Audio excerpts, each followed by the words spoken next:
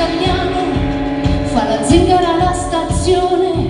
e fra pascoli e montagne